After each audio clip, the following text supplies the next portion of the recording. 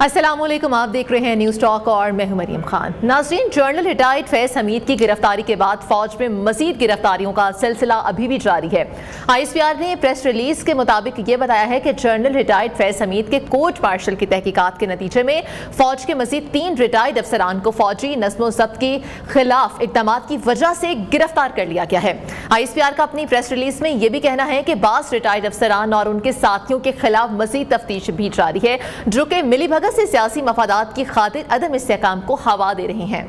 जिनमें दो retired brigadier हैं और एक रिटायर्ड कर्नल शामिल हैं। इन तीन रिटायर्ड अफसरान की गिरफ्तारी कितनी अहम है और सबक D G I S I की गिरफ्तारी से जो शुरू होने वाला सिलसिला है, वो कहाँ पर जाकर थमेगा? और क्या मजीद रिटायर्ड फौजी अफसरान की गिरफ्तारियाँ भी अमल में लाई जा सकती हैं? इन तमाम इश्यूज़ पर बात करने के लिए हमारे साथ मौजूद हैं स्टूडियो में मुस्लिम लीग नून की रहनुमा है असमा कारदार साहिबा। असमा साहिबा, बहुत शुक्रिया। और इसके अलावा हमारे साथ अहमद अवैस जो कि पी टी आई के रहनुमा रह चुके हैं। बहुत शुक्रिया आपने कीमती वक्त दिया। अहमद अवैध साहब आपसे सवाल है मेरा कि ये जो अब तमाम तर मामला मुल्क में बन रहे हैं ये इन तीन रिटायर्ड अफसरान की गिरफ्तारी कितनी अहम है जो कि फैज हमीद के खिलाफ तहकीकात चल रही हैं उसके हवाले से। देखिए बात यह है कि अब ये तो उनको मालूम होगा ना अभी तो हमारे पास कोई डिटेल तो मंजर आम पे नहीं आई है।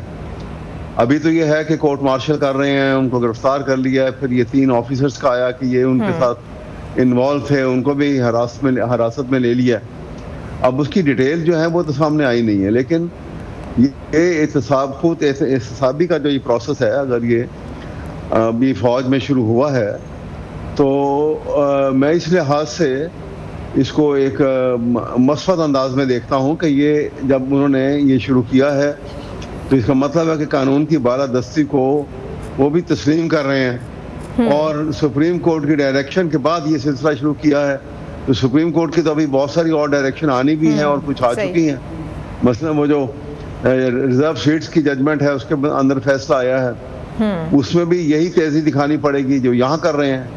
इसी तरह से कॉन्स्टिट्यूशनल जो कॉन्स्टिट्यूशन की वायोलेशन कर रहे हैं उनके खिलाफ भी कार्रवाई उसी तरह करनी पड़ेगी।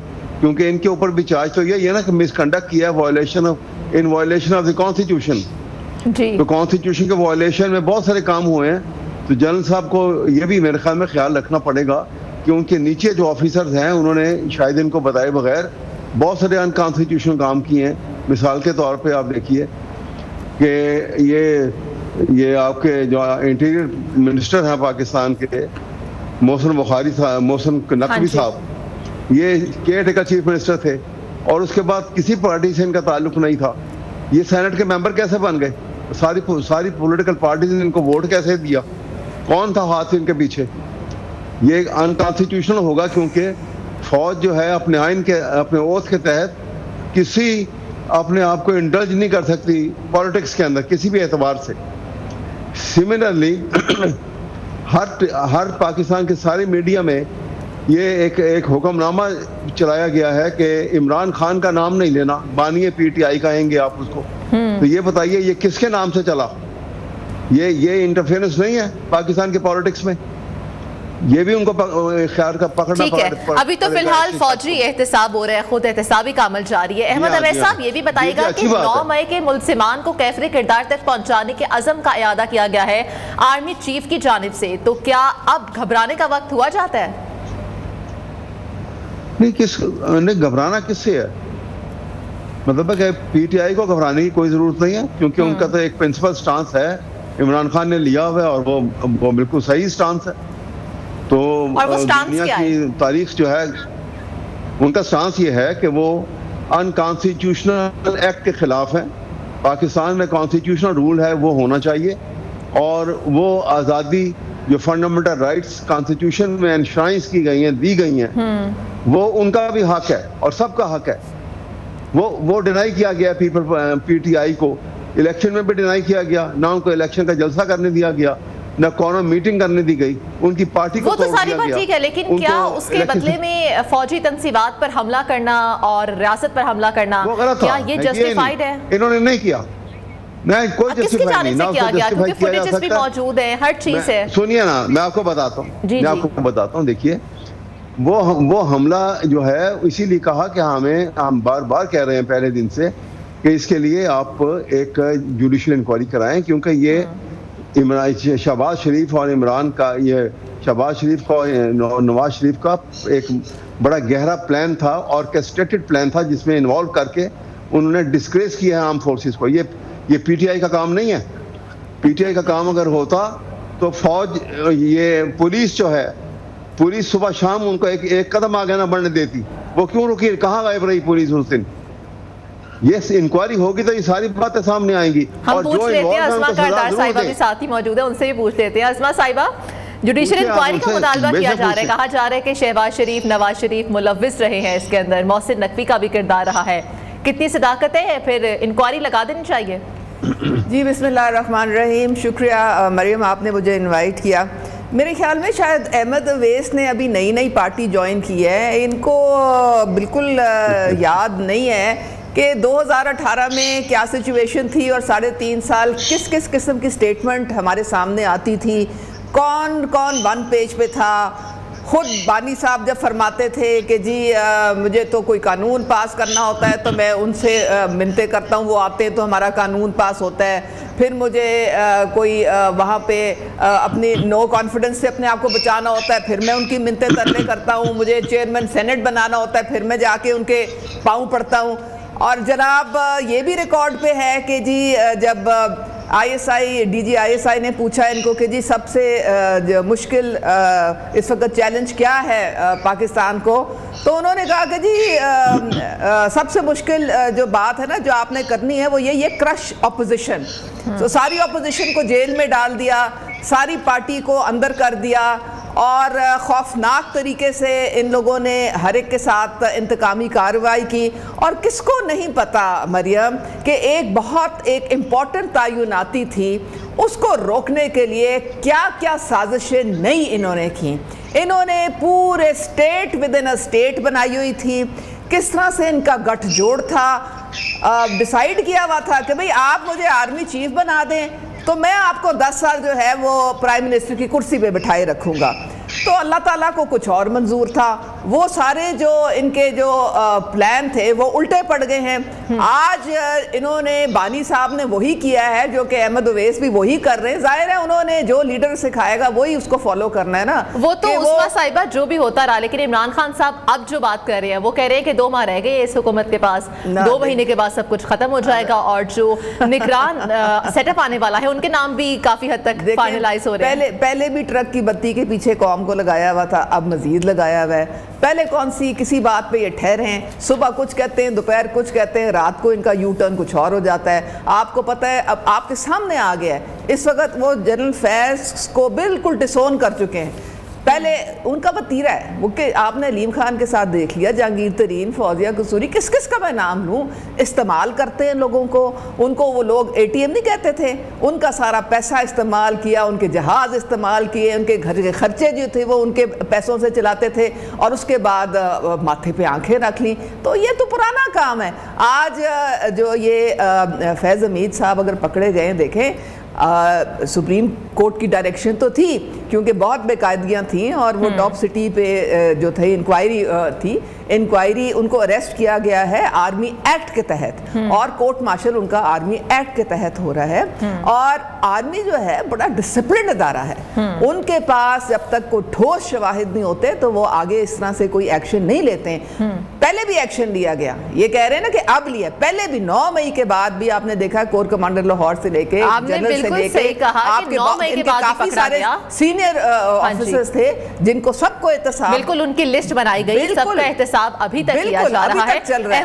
और अभी अभी तो ये जो दो ब्रिगेडियर्स और एक कर्नल जो रिटायर्ड इस वक्त अरेस्ट हम्म। हुए हैं ठोस शवाहिद है कि ये ठोस शवाहिद तो इस वक्त सामने आ चुके हैं और आगे आगे जो आने वाला है वो भी परेशान हो जाएँगे। पैगाम अच्छा ये पैगाम साथ है पैगाम साथ है जनरल फैज और एक पार्टी के सरबराह के हम्म। दरमियान। और अभी तक ये सिलसिला चल रहा था और ये जो आपको पता है कि जो साहिबा मैं आपकी तरफ़ दोबारा आती हूँ। अहमद अवैस साहब से यहीं पर आपकी बात को कंटिन्यू करते हुए उनसे भी सवाल करें कि फैज हमीद साहब अगर वादा मुआफ गवाह बन गए तो फिर क्या होगा? क्या नौ मई की मुआफी ना मांग कर कोई गलती तो नहीं करती बानी ने? बिल्कुल नहीं।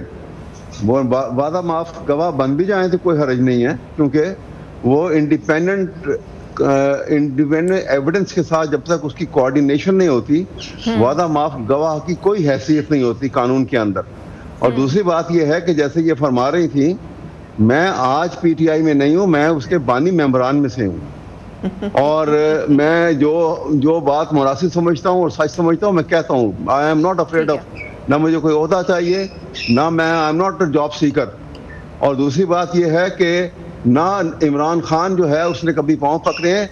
ये वतीरा तो इमरान आपको आपको याद होगा, ये तो शहबाज शरीफ और नवाज़ शरीफ का रहा है। जब इनको परवेज मुशरफ ने हटाया था तो पाँव पकड़ के और माफीनामा दस साल का लिख के कि पॉलिटिक्स में हिस्सा नहीं लेंगे, यहाँ से अपना सामान उठा के निकल गए थे।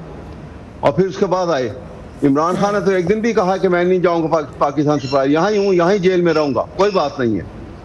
तो इसलिए ये लॉफ्टी स्टेटमेंट देने से मामला ये जो इल्ज़ाम लगाए जा रहे हैं, ये आप नोट करिए ना, इसका आपने जवाब दे दिया। दूसरी मरियम बात सुनिए। साहिबा इनसे अभी जरा मेरी बात एक सुनिए बात पूछ लें कि ये मेरी बात पूरी सुन लीजिए साहिबा साहब आप जरा एक बात का मुझे जवाब दे। दें कि ये आपके बानी साहब जो हैं ये इतनी गैर आईनी और गैर कानूनी बातें क्यों हर वक्त करते हैं क्यों वो इंसिस्ट करते हैं कि जी मैं सिर्फ़ आर्मी एस्टेब्लिशमेंट से बात करूँगा मैं किसी सियासी बंदे से बात नहीं करूँगा।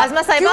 यही जिनकी वो- तरफ़ हम फेंकते हैं। हर वक्त क्यों आपने आप आप मुझे ये बताएँ कि जब इन्होंने कहा था कि फौज का कोई अमल दखल नहीं कोई लेना देना हाँ, नहीं आपकी तरफ़ आ रहे हैं, कहा अहमद कि जी आप न्यूट्रल नहीं हो सकते न्यूट्रल सिर्फ़ जानवर हो सकता है। आप मीर जाफ़र हैं आप मीर सादिक हैं। अरे भाई ये खुदा के लिए आप क्लिप सिला दें। अहमद अवैस का थोड़ा बादाम खाएँ थोड़ा हाफजा मुझे नहीं नहीं वो गया। हमें जवाब देने की उसमें है पोजीशन में। जी अहमद साहब बताइएगा। मैं इसलिए कह रहा हूँ कि जहाँ आप कह रहे हैं कि जी वो कोर कमांडो को सजा दे दी उसको हटा दिया फलाओं को हटा दिया इनको हाँ, मैं तो कह रहा हूँ कि खुश आइंद है। अगर फैज हमीद को इन्होंने इस किसी डिसिप्लिन में उसको गिरफ़्तार किया है और उसके खिलाफ कोई कार्रवाई कर रहे हैं तो ये मैं तो इसको अप्रिशिएट कर रहा हूँ। और कह रहा हूँ ये होना चाहिए एहतसाब का निज़ाम जो है कोई मुबर्र नहीं है इससे। और ये आगे भी चलेगा जिसने आयन शिकनी की है वो भी इसके अंदर आएगा। और आयन शिकनी करने वाले बहुत सारे शामिल हैं। उसके अंदर तो बहुत सारे लोगों के नाम आएँगे और सब आएँगे। और ये वक्त आ रहा है। ये एहतसाब का मतलब है वो जो जेल में सहूलत कारी की गई है उसका भी जरा तस्करा कीजिएगा।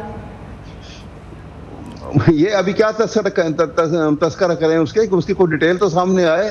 कोई सहूलत कारी क्या करनी थी? वो जेल में है। उसको क्या सहूलतकारी होनी थी वहाँ पर?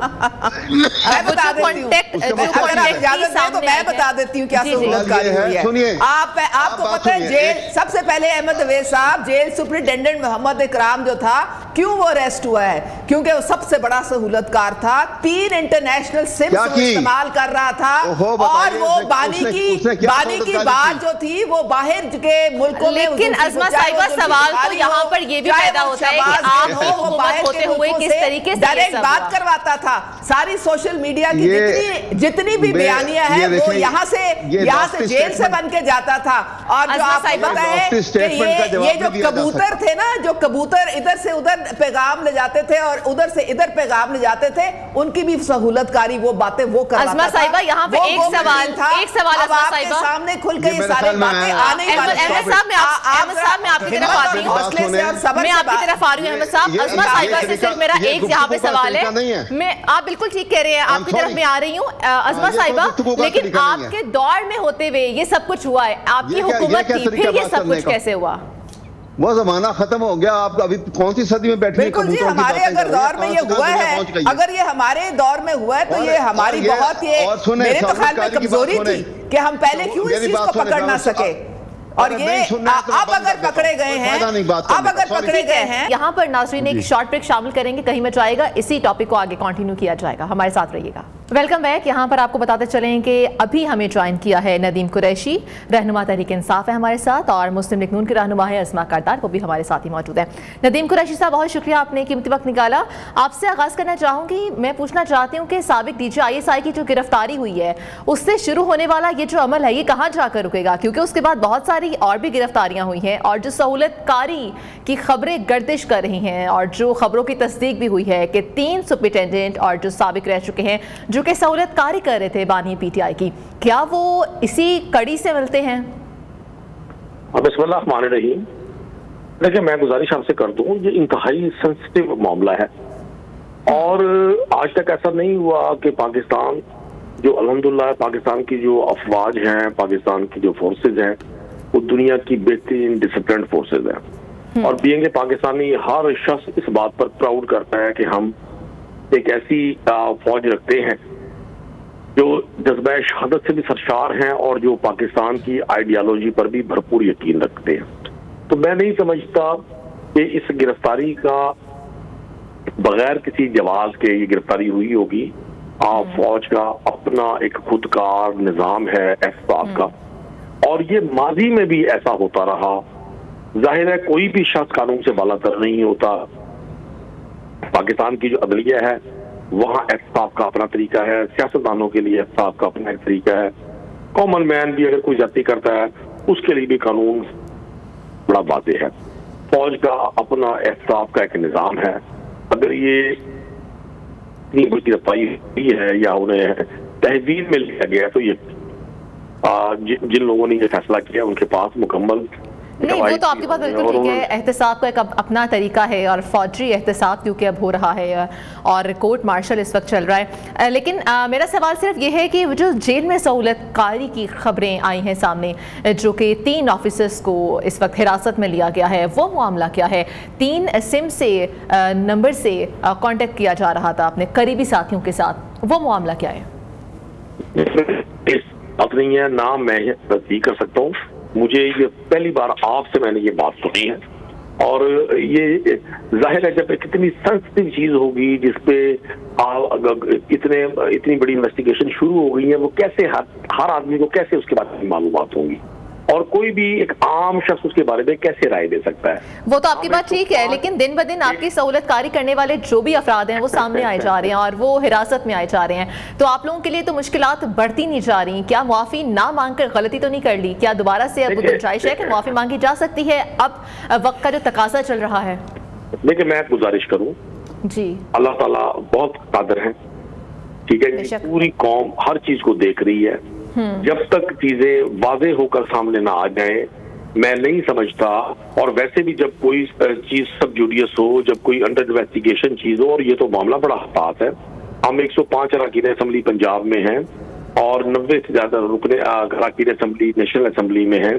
केपी में हमारे अरकान है। तो कोई भी रुकन असम्बली कैसे इस बात को, इसकी तस्दीक कर सकता है कि जी वहाँ क्या हो रहा था, क्या नहीं हो रहा था, किस नोयत की सहूलत सहूलतकारी थी। खान साहब तो जो भी गुफ्तु कर रहे हैं आपके मीडिया के लोगों की एक्सेस भी उन तक है। तो मैं तो समझता हूँ कि मीडिया के लोगों को ये खान साहब से क्वेश्चन ज़रूर करना चाहिए। वो तो हमें मौका मिलेगा तो हम सवाल ज़रूर करेंगे। असमा कारदार साहिबा से भी। हम जरा जान लेते हैं क्योंकि ग्रैंड अलायंस बनता देख रहे हैं हम इस्लामाबाद में अजमा साहिबा।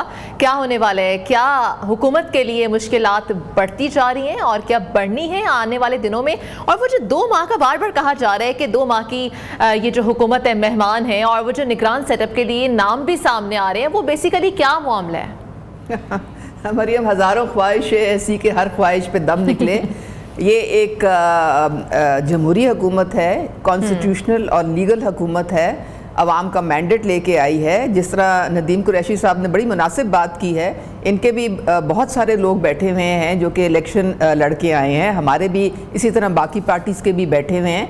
तो हमारा जो आइन और कानून कहता है कि पाँच साल की मुद्दत है उसमें हमारा सा, सारा फोकस जो है वो मीशत को बहाल करने पे है लोगों हम्म। की ज़िंदगी में बेहतरी लाने पे हमारा फोकस है और इन ताला ये फ़ाल अपोजिशन का किरदार अदा करें पाकिस्तान मुतहमल नहीं हो सकता कि साठ अरब की आप बार बार हर दो चार महीने के बाद एक नई इलेक्शन आप करा लें। ये ऐसे नहीं हो सकता है। आपको एक हिम्मत हौसले के साथ एक मुस्बत किरदार अदा करना है और आगे बढ़ना है और पाकिस्तान के अवाम पर इस वक्त फोकस करना है। ज़रा मुझे प्लीज़ दो मिनट ज़रा दे दें। अहमद अवैस साहब जो है मुझे बड़ा अफसोस हुआ बड़ी दिली तकलीफ़ हुई जब वो बात करके गए हैं।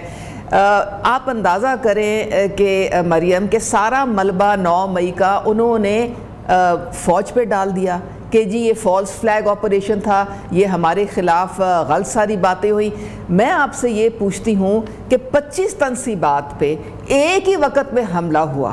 मुख्तलिफ़ शहरों में, मुख्तलिफ़ जगहों पे। मैं आपको किस किस का नाम, आप जी एच क्यू से शुरू कर लें। आप मियाँ वाली में एयरबेस से शुरू करें। आप फैसलाबाद के आई एस आई के दफ्तर से शुरू करें। आप कार्डियोलॉजी इंस्टीट्यूट से शुरू करें। आप जिना हाउस आप यादगारों के मुजस्मे से, तैयारों से शुरू करें। वहाँ पर एक ही एक ही वक्त में एक ही टाइम पे ये हमले हो तो आपका ख्याल है कि ये वैसे ही कोई अचानक हो गए? इसकी सारी सिस्टमेटिक प्लानिंग की गई थी। और मैं तो कहती हूँ, जो झूठ का इन्होंने पलंदा, उसके बाद अपनी गर्दन बचाने के लिए अब लोगों को और मज़ीद गुमराह, पहले लोगों को गुमराह किया, उनको इस तरह से गलत गाइड करके ये लेके गए। आपको वो यासमिन राशिद, पूरी दुनिया ने वो वीडियोस देखी हैं कि हम फूलन देवी बन के बैठी हुई हैं, ऊपर वो अपने गाड़ी के और कह रहे हैं कि हम जिना हाउस की तरफ़ लोगों को लेके जा रहे हैं। सबने देखी हैं। अच्छा मैं मुराद सईद की वीडियोस किस किस की मैं आपको बात बताऊँ? सारी एविडेंस सारी साथ अहमद वैस कह गए कि जी एक साल से सजा क्यों नहीं गई? अरे भाई इसलिए नहीं दी क्योंकि आप लोग स्टे ऑर्डर लेके सुप्रीम कोर्ट के पीछे छुप रहे हैं। जिस दिन ये मामला क्लियर हुआ उस दिन आपको मिलिट्री कोर्ट्स में नदीम कुरैशी साहब की तरफ़ भी जाते हैं उनसे भी जरा पूछ लेते हैं कि जो तहरीकें चलना शुरू हो रही हैं पीटीआई की जानब से आप लोग मौलाना फजल रहमान के कब से मरहून मिन्नत हो गए जिनको डीजल डीजल कहा जाता था? आज उन्हीं का सहारा लेने की कोशिशें की जा रही है और उन्हीं का सहारा लिया जा रहा है। तहरीकें इतनी ठंडी आखिर क्यों पड़ गई हैं? ऐसा क्या वक्त आ गया है आप पे? देखिए मरियम गुजारिश ही है हम्म। पाकिस्तान की आवाम ने 8 फरवरी 2024 के इंतबात में अपने वोट से जिस पार्टी को इंडोर्स किया जिस पार्टी को सबसे ज़्यादा वोट दिए वो पाकिस्तान तहरीके इंसाफ है अभी आपने पीपल्स पार्टी के रुकन असम्बली अब्दुल कादिर गिलानी उन्होंने स्पीकर नेशनल असम्बली से गुफ्तू करते हुए कहा हम्म। कि आप पर ये जो फॉर्म 47 का इल्ज़ाम है ये कब धुलेगा? मतलब इनके अपने इतिहादी और एक पीपल्स पार्टी के एक रुकन असम्बली नहीं कई अरकान असम्बली ये गुफ्तु कर चुके हैं मीडिया पर तो मैं कई लोगों से सुन चुका हूँ। इवन कई अरकान असम्बली ने तो बड़े इस पे मजाहिया शायरी भी फरमा दी है फॉर्म 45 फॉर्म 47 पे। तो कहने का मकसद ये है पाकिस्तान तहरीक इंसाफ पाकिस्तान की सबसे बड़ी सियासी जमात है। हम्म। हम किसी के मरहूने मिन्नत नहीं है हाँ मौलाना फजल रहमान साहब की अपनी एक जमात है अपनी एक आइडियालॉजी है। सियासती सियासी इख्तलाफात हमेशा होते रहते हैं और होते रहेंगे, ये कोई अनहोनी बात नहीं है। मौलाना फजल रहमान के साथ हमारा आइडियालॉजिकल जो डिफरेंस था वो ना कोई पहला पहला कोई इख्तलाफ है और ना कोई आखिरी है। जहाँ पॉलिटिक्स होगी जहाँ तो फिर तो फिर जो कहा जाता है कि यू टर्न ले लेते हैं बार बार तो सुन तो लेना। सही कहा जाता है। आपसे मेरी गुजारिश तो सुन। मरियम साहब मेरी गुजारिश तो सुन हाँ जी हाँ जी ज़रूर। मेरी मेरी गुजारिश सुन लें। आप मरियम खान अगर आप मरियम नवाज़ बनेंगी तो फिर हम बोल ही नहीं सकेंगे। अब हमें सुन नहीं नहीं हम जो है हम वही रहेंगे। हम किसी और आपकी बेहतरीन चीफ अच्छा, मिनिस्टर हैं सबसे बेहतरीन चीफ मिनिस्टर पंजाब की। चले उस हवाले से बात करते हैं रिस्पेक्ट दें थोड़ी इज़्ज़त दें। जो वो काम कर रही है ना वो पहले कभी किसी सीएम पंजाब ने नहीं किया। ठीक है। अच्छा उस्मा उस्मा साहबा की मेरी मेरी मतलब मेरे मैं इनकी बड़ी इज़्ज़त करता हूँ बहुत ही काबिल एहतराम है। लेकिन चूँकि ये पिछले दौर में उस्मान बुजार की भी तारीफ़ ऐसे ही करती रही तो इसलिए मैं इस मामले में इनको नंबर ज़्यादा नहीं दूँगा थोड़े नंबर दूँगा। लेकिन उस्मान बुजार ने तो हमें फेल कर दिया ना भाई अब क्या करें? वो तो हमारी तो पूरा नहीं उतरा। उसने तो उसने तो सवाए पपट बन के और कुछ भी काम नहीं किया ना। अगर तुम कर देते काम अगर कुछ कर देते वसीम अक्रम प्लस तो आज फिर हमारा ये हाल तो ना होता ना जो आप लोगों का हो रहा है। काश काश अगर मैं उजमा जी जान की मान पाऊँ तो काश ही आप उनके दौर में भी कहती उनके दौर में तो कहते थे नदीम हम कहते थे आप भी कहते थे आपके अच्छा, सारे M N S M P S सब कहते थे। रोते थे जाके रोते थे जाके खुदा के लिए करप्शन बहुत ज़्यादा हो रही है सीएम हाउस में हो रही है खुदा के लिए इसको बंद करें। आई फाइलें लेके गए थे प्राइम मिनिस्टर ये सारी बातें ये सारी बातें तो होती रही उन्होंने क्या किया? उन्होंने डीजीआईएसआई बिल्कुल अपने जरा लास्ट के अल्फाज कहिएगा क्योंकि एक ब्रेक शामिल करनी है दोबारा से फिर कंटिन्यू भी करेंगे। देखिए मैं गुजारिश आपसे कर दूँ सियासी तौर पर मौलाना फजल रहमान समेत पाकिस्तान की वो तमाम सियासी पार्टियाँ जो इस हम्म। जो इस इन इंतबात के नतज पर तहफात रखती हैं और वो तहफात बिल्कुल हद पर हैं वो इस नुकते पर इकट्ठी हैं कि पाकिस्तान में इस तरह के इंतबात कभी भी अवामी उमंगों के मुताबिक नहीं हो सकते जिनमें अवाम के वोटों को किसी और तरफ़ वोट दिया जाए। ठीक है आपकी तो बात हमारे पास आगे यहाँ पर एक शॉर्ट ब्रेक शामिल करते हैं। वेलकम बैक नाजरीन गुजशत रोज़ योम आज़ादी के मौके पर वजी अजम शहबाज शरीफ की जानब से कौम को मुल्क मीशत में बेहतरी के लिए एक जो मुआशी प्लान है, वो देने का ऐलान सामने आया था। और इस मुआशी प्लान के तहत मुआशी शरह नमू में इजाफा होगा। महँगाई और मालियाती खसारे में कमी के साथ साथ जो गैर मुल्की सरमाकारी है उसमें भी इजाफे का एक जाम प्लान, बरतानवी मीशत दान की जेर निगरानी तैयार कर लिया गया है। जिसका ऐलान आने वाले दिनों में वजी अजम शहबाज शरीफ साहब खुद से करेंगे। करेंगे। इस मुआशी प्लान के तहत बैरूनी सरमाकारी में इजाफे के लिए सी पैक का किरदार क्या होगा? ये तमाम तो सूरत हाल पर बात करने के लिए हमारे साथ मौजूद होंगे सबक सफ़ीर, मसूद खालिद साहब। मसूद खालिद साहब, बहुत शुक्रिया आपने प्रोग्राम के लिए वक्त निकाला। मसूद खालिद साहब वजी अजम की जानब से ऐलान सामने आया है कि आने वाले दिनों में मुआशी प्लान देने का और इस मुआशी प्लान में जो सी पैक है उसके हवाले से हम पूछना चाहते हैं कि उसका किरदार कितना अहम होगा। क्योंकि अगर मीशत की बात करें तो हमारी मीशत में गैर मुल्की सरमाकारी सरमाकारी बहुत कम है, जबकि हम कई बार ये सुन चुके हैं कि मीशत की बेहतरी के लिए हमें बैरूनी सरमाकारी को बढ़ाना होगा। तो इस हवाले से जो सी पैक है, उसका किरदार कितना अहम होगा? जी, शुक्रिया। देखिए, एक तो ये बहुत ही खुश आयन ऐलान है, क्योंकि हमें इकोनॉमी के बारे में एक स्ट्रेटेजिक थिंकिंग की ज़रूरत है, और मुझे पूरी उम्मीद है कि जब ये प्लान पाँच साल सामने आएगा तो इसमें बड़े स्पेसिफिक टारगेट्स दिए जाएँगे जो कि मुल्क की हम्म। तरक्की के लिए मुफीद साबित होंगे जहाँ तक सी पैक का ताल्लुक है अगर आप इसके दस साल परफॉर्मेंस का जायज़ा लें तो ये तो बड़ा क्लियर कट है कि इस दस साल में तकरीबन हमारे सिस्टम में चाइनीज़ इन्वेस्टमेंट को तकरीबन 25 बिलियन डॉलर की आ चुकी है अच्छा। और खासे बड़े प्रोजेक्ट्स सेक्टर में भी और ट्रांसपोर्ट ट्रांसपोर्ट सेक्टर में भी कंप्लीट हुए हैं और अभी कुछ और भी प्रोजेक्ट्स जो हैं वो आ रहे हैं। इसके अलावा आपको हम्म। पता है कि गवादर पोर्ट और उसका जो इंफ्रास्ट्रक्चर है लाइट स्मार्ट गवादर सिटी इस पे सब काम हो रहा है। इसके अलावा अब हम चूँकि सेकंड फ़ेज़ में दाखिल हो रहे हैं सी पैक के सेकंड फ़ेज़ में दाखिल हो रहे हैं। फ़ेज़ टू जो इसमें हमने फ़ेज़ टू में आ, और काफ़ी जो है क्लस्टर्स शामिल किए हैं। यानी कि एरियाज़ ऑफ़ कोऑपरेशन जो है वो ऐड हो गए हैं। मतलब उसमें एग्रीकल्चर आया है।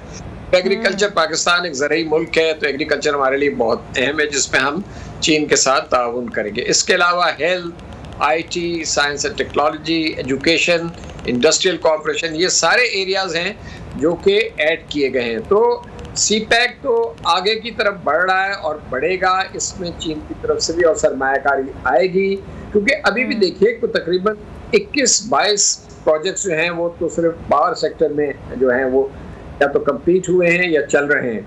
हाँ और इसमें खासे बड़े प्रोजेक्ट हैं जी। और ट्रांसपोर्ट सेक्टर में भी देखिए आपने Multan Sukkur expressway motorway जो बनाई है हम्म। फिर उसके बाद बलूचिस्तान में ये ईस्ट पे एक्सप्रेस वे बनी है फिर कराकुरम हाईवे पे काम हो रहा है। इसके अलावा और भी रोड प्रोजेक्ट्स हैं।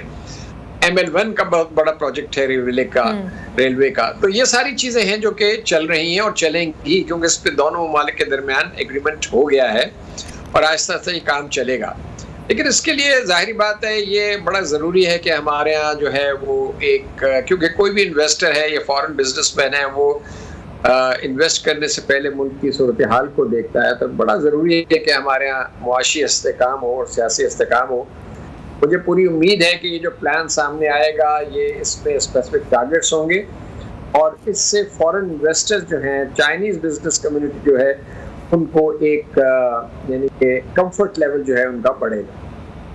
अच्छा मसूद आलम साहब, मसूद खालिद साहब हमारे पाकिस्तान में एक रोज़गार का बहुत बड़ा इशू है। तो क्या सी पैक मनसूबे की वजह से रोज़गार के मौाक़े भी पैदा होंगे? और अगर हम सनती तरक्की की बात करें तो उसके ज़रिए पाकिस्तान की मुआशी तरक्की में किस हद तक जो सी पैक का ये फ़ेज़ टू है, किरदार अदा कर सकता है? देखिए पहली बात तो ये है कि जो प्रोजेक्ट्स अब तक कंप्लीट हुए हैं सीपैक के फ़र्स्ट फ़ेज़ में इसमें लोकल एम्प्लॉयमेंट जनरेशन यानी कि हमारे मुकामी लोगों को पाकिस्तानी लोगों को रोज़गार मिला है। बिल्कुल और जो आ, जो आदाद शुमार हैं उसके मुताबिक तकरीबन सवा लाख से डेढ़ लाख लोगों को एम्प्लॉयमेंट मिली है। यानी कि अगर अच्छा। डेढ़ लाख लोगों को एम्प्लॉयमेंट मिली है तो आप उसी से हिसाब लगा लें कि कितनी फैमिलीज़ बेनिफिट हाँ, उनको फ़ायदा हो रहा है। सही। आ, अभी मैं एक जगह था जहाँ पे एक प्रेजेंटेशन की गई एक चाइनीज़ बड़ी कंपनी की तरफ़ से। तो उन्होंने एक हम्म। मिसाल दी। उन्होंने कहा कि देखिए अगर हमारे इस वक्त गालिबन ग्यारह हज़ार एम्प्लॉयज़ हैं उस प्रोजेक्ट पे और हम्म। उसमें से एक हज़ार सिर्फ़ चीनी है बाकी सब पाकिस्तानी है। तो इसी से आप अंदाज़ा लगा लें क्योंकि एक प्रोपेगेंडा ये भी किया जाता है कि जी चाइनीज़ अपने लोग बहुत ज़्यादा ले आए हैं। हालाँकि ऐसी बात नहीं है। जितने भी आप प्रोजेक्ट्स देखें सी पैक के उसमें जो अक्सरियत है वो पाकिस्तानी जो है वो वर्कर्स और टेक्नीशियंस काम कर हाँ। रहे हैं दूसरी बात आपने कहा इंडस्ट्रियल कॉपरेशन इंडस्ट्रियल कॉपरेशन बहुत ज़्यादा अहम है। अब होना ये था कि हमें स्पेशल इकोनॉमिक जोन्स जो थे वो बनाने थे उसमें हमारी तरफ़ से काफ़ी जो है सुस्त रवि का मुजाहरा किया गया है। क्योंकि अगर वो एक्सपोर्ट प्रोसेसिंग जोन और स्पेशल इकोनॉमिक जोन हमारे बन जाएँ तो वहाँ पर जो relocation of industries Chinese industry वो होगी। जो ऐसी इंडस्ट्री जो कि वहाँ पर सरप्लस है या जिसकी कॉस्ट ऑफ़ प्रोडक्शन बहुत बढ़ गई है वो यहाँ आएगी यहाँ जॉइंट वेंचर्स के ज़रिए या ऑन इट्स ओन वो यहाँ पर मैन्युफैक्चरिंग यूनिट्स लगाएगी फैक्ट्री लगाएगी और उसके बाद वो प्रोडक्ट्स जो हैं वो बनेगी जिससे कि पाकिस्तान की एक्सपोर्ट्स में ज़ाहिर बात है कि बहुत इजाफा हो सकता है। लेकिन इसके लिए बड़ा ज़रूरी है कि हम स्पेशल इकोनॉमिक जोन्स को प्रायोरिटी दें। और मैं तो आ, मेरी तो सबमिशन ये होगी गवर्नमेंट से कि कम से कम आप एक साल के अंदर एक से दो जो तय हुए हैं तयशुदा जो हैं स्पेशल इकोनॉमिक जोन्स जैसे राशाकाई है ढाबेजी है उनको आप मुकम्मल करें और ऑपरेशनलाइज कर दें ताकि जो चाइनीज़ कंपनीज़ हैं और चाइनीज़ इंडस्ट्रियलिस्ट हैं वो यहाँ पर आए। और ये सिर्फ़ चाइनीज़ इंडस्ट्रियलिस्ट नहीं आएँगे अगर ये एक दफ़ा सिलसिला शुरू हो गया तो और भी जो ममालिक हैं जो कि इंटरेस्टेड हैं क्योंकि पाकिस्तान की मीशत पाकिस्तान की मार्केट खासी बड़ी है। हाँ जी। ही पच्चीस करोड़ की मार्केट है और पाकिस्तान की जोग्राफी ऐसी है कि पाकिस्तान सेंटर में है it connects with three regions at least और चाइना भी जो देख रहा है क्योंकि वक्त इस टाइम बहुत कम है बस आपसे लास्ट के रिमार्क्स देना चाहूँगी इस बात पे कि गुजश्ता पिछहत्तर साल से चीन हमारे अच्छे और बुरे वक्त में हमेशा साथी रहा है हर मुश्किल घड़ी में हमें सपोर्ट करता रहे। लेकिन अभी हालिया में जब वज़ीर ख़जाना ने दौरा किया तो उसके बाद कुछ शहमगोइयाँ हो रही हैं कि शायद हमारे ताल्लुक में कोई उतार चढ़ाव आ गया। आपके ख्याल में पाक चीन ताल्लुक इस वक्त किस सतह पर हैं? नहीं कोई उतार चढ़ाव नहीं है या खाम खामखा की चमगोइयाँ हैं। देखिए, एक प्रोसेस होता है। विज़िट से ये तो नहीं होना था कि वज़ीर ख़जाना साहब अगर चीन तशीफ ले गए और उन्होंने किसी पहलू पे वहाँ पर डिस्कशन किया तो उसके रिज़ल्ट जो हैं अगले दिन आ जाएँगे। ऐसा नहीं होता। ये इवेंट नहीं है ये एक प्रोसेस है। और इसमें हमारे जो आई के मसाइल हैं उस पर भी बात वहाँ पर हुई है। और ज़ाहिर बात है कि चीनी हुकाम हम्म। भी चीनी बैंक चीनी फाइनेंशियल इंस्टीट्यूशन उस सारी चीज़ का जायजा लेंगे जिसमें टाइम लगता है जिसमें वक्त लगता है। ये टेक्निकल चीज़ें हैं ये एकदम तो नहीं होती लेकिन जहाँ तक पाकिस्तान की दोस्ती का ताल्लुक है उसमें कोई उतार चढ़ाव नहीं है ये बड़ी मज़बूत दोस्ती है और ये एक दूसरे का हम जो है एक दूसरे ये दोस्ती एक दूसरे को तकवीत देती है। ठीक है मतलब तो वो जितने भी ये सारी बातें की जा रही थी रूमर से वो सब के सब फॉल्स थे। बहुत शुक्रिया सबक सफ़ीर मसूद खालिद साहब हमारे साथ मौजूद थे अपनी कीमती राय हमें दे रहे थे। न्यूज़ टॉक्स का टाइम ख़त्म हुआ जाता है इजाज़त दीजिए अल्लाह हाफिज़।